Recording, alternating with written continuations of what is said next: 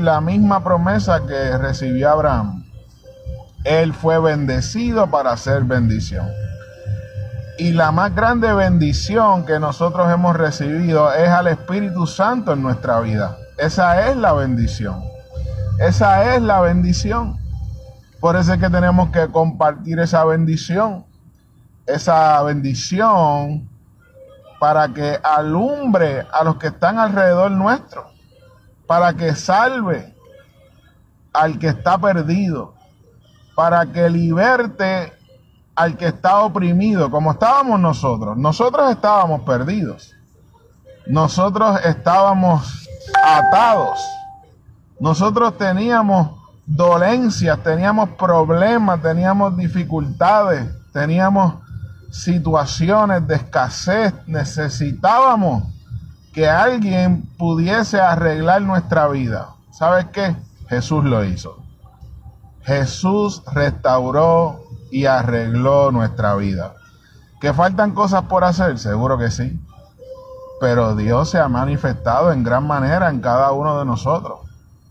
Y hay gente que necesita también ser salvada, ser rescatada. Porque esta obra no ha terminado. Nosotros tenemos la voluntad puesta por Dios, el deseo y la responsabilidad de que esta luz que ha amanecido sobre nosotros, que ha resplandecido sobre nosotros, continúe iluminando, iluminando a las tinieblas que siguen en las naciones, como dice aquí el profeta.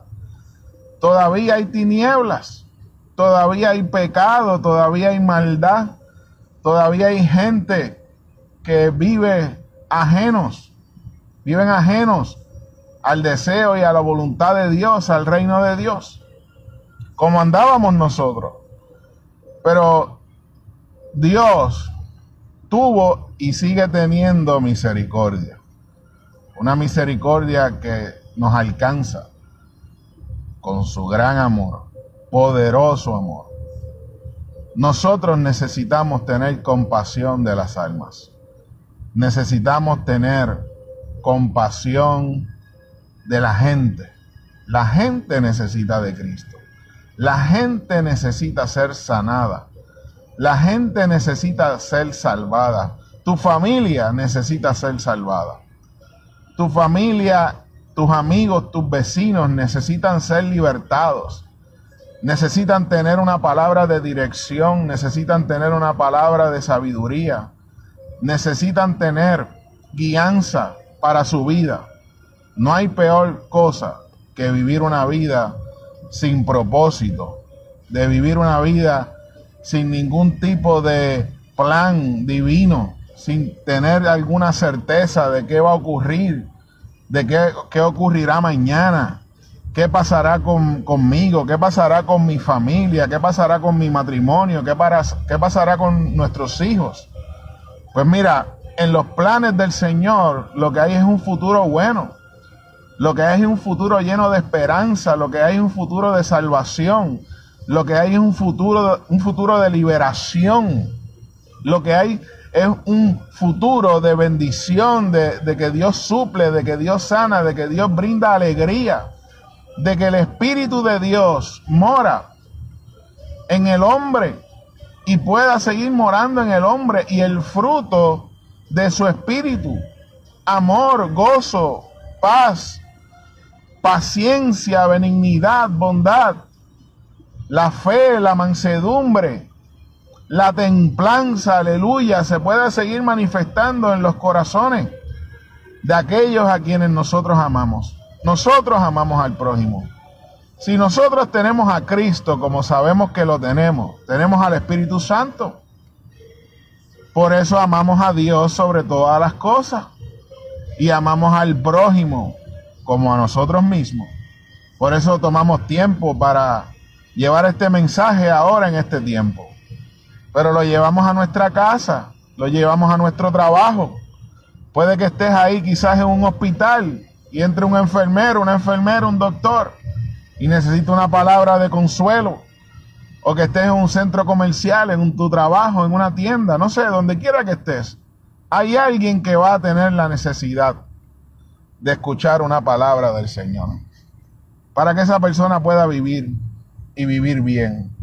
De manera que si en nosotros se ha manifestado esta luz, porque mira lo que dice el verso 3, dice, y andarán las naciones a tu luz y los reyes al resplandor de tu nacimiento. Oh, aleluya. Fíjense que esa luz que es Cristo necesita ser manifestada. Y Jesús, como se manifiesta a través de la iglesia. Nosotros somos la iglesia. Nosotros somos la iglesia, nosotros somos el cuerpo de Cristo. Nosotros somos la voz de Cristo en este tiempo. ¿Por qué? Porque hablamos su palabra. Nosotros somos su cuerpo, somos sus manos que hacen buenas obras. ¿Por qué? Porque Dios lo ha establecido de esa manera. Nos, nos ha hecho templos de su Santo Espíritu. Y es bueno uno tener una experiencia personal con el Señor. Es maravilloso, es lo vital, es lo primero. Pero necesitamos hacer que esa experiencia se manifieste, se manifieste a los que están alrededor nuestro. Que sea una experiencia compartida, una experiencia compartida.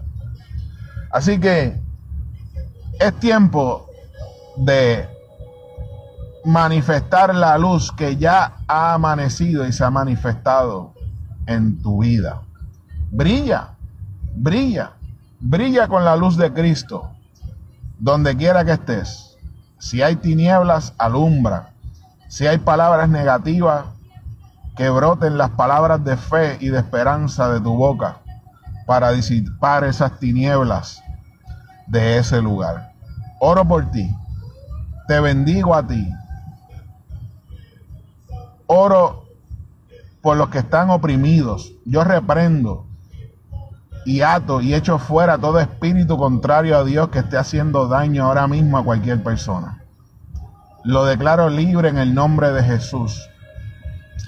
Si estás escuchándome en este momento y no conoces al Señor, arrepiéntete reconoce que Jesús es el Cristo y que Él pagó el precio en la cruz del Calvario. Él derramó su sangre para que tú tuvieses salvación. Entrégale tu vida.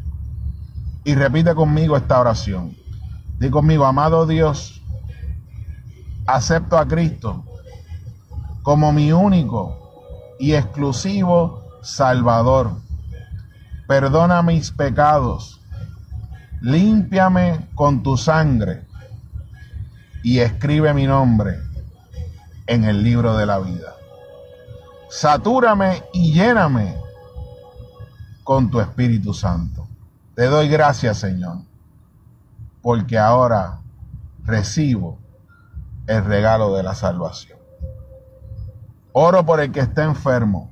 Declaro salud y sanidad sobre cada cuerpo que pueda estar dolido que pueda tener alguna queja o alguna enfermedad. En el nombre poderoso de Jesucristo. Gracias Señor por esta oportunidad que me das de llevar esta buena noticia de salvación y liberación a los oyentes. Dios te bendiga. Te ha hablado José Torres. Voy a pedirte que por favor puedas compartir esta transmisión con tus amigos de las redes sociales y que le puedas dar me gusta a la página y que también puedas oprimir la campanita para cuando las transmisiones o las publicaciones se realicen, pues puedas tener noticia de que estamos llevando el mensaje. Dios te bendiga, que tengas un hermoso día. La paz del Señor.